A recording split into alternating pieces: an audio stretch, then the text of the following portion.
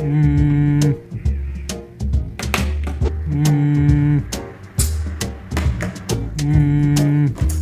यार